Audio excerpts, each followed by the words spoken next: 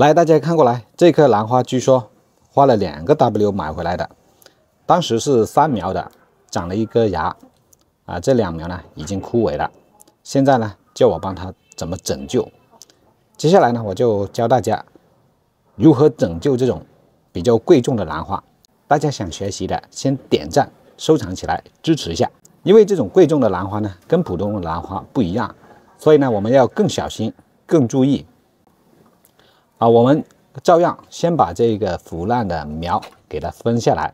我们在分的时候，尤其是接近这个健康的苗的时候，一定要小心一点，抓住这个炉头的位置，左右摇晃。啊，然后呢，把它轻轻掰下来。如果掰不动的话呢，我们最好用剪刀来给它剪。这个剪刀呢，我们最好要消毒一下，因为毕竟是贵重的兰花，有伤口，容易感染细菌。所以呢，我们可以用酒精或者是消毒水消毒一下。啊，我直接就简单粗暴用打火机来烧一下就可以了。啊，给它杀杀菌，然后呢，找到这个连接点的位置，直接给它。剪断就可以了。这个伤口呢，我们也用剪刀来把它剪平，不要让这个伤口太大，这样就可以了。还有呢，这个烂根呢，我们也给它清理掉。像这种发黑的根系呢，呃，它还是可以的。大家看到吗？水晶头也长出来了。像这个根系还是可以的，没有空根。那么我们先把它保留着。然后呢，这一种发黑的叶片、枯叶，我们也给它清理掉，因为这种。枯萎的叶片呢，它容易腐烂，容易滋生病菌，所以呢，要给它清理干净。在清理的时候呢，大家一定要注意，不要用力掰，避免这个位置有新芽。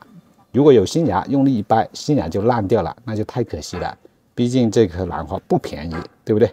我们在处理的时候要格外小心，凡是有可能滋生细菌的这些残留物，一定要给它清理干净。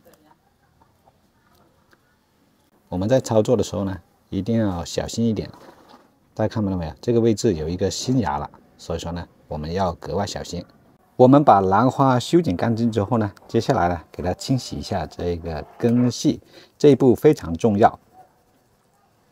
给它杀菌脱毒啊，我们可以用肥皂来给它刷一刷这个根系啊，用一根这个毛比较细的牙刷来给它刷一刷。轻轻的刷，不要用力刷，用力刷的话会容易伤到根系。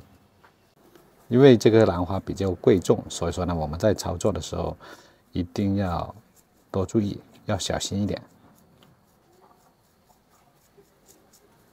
接下来我们用这个清水把它冲洗掉这个肥皂，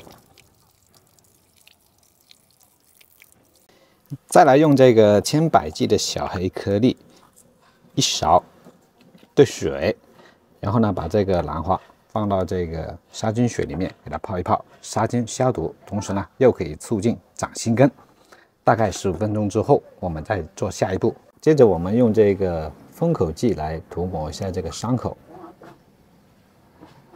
把这个伤口密封起来，杀菌杀毒，避免在种好之后从这个伤口感染细菌。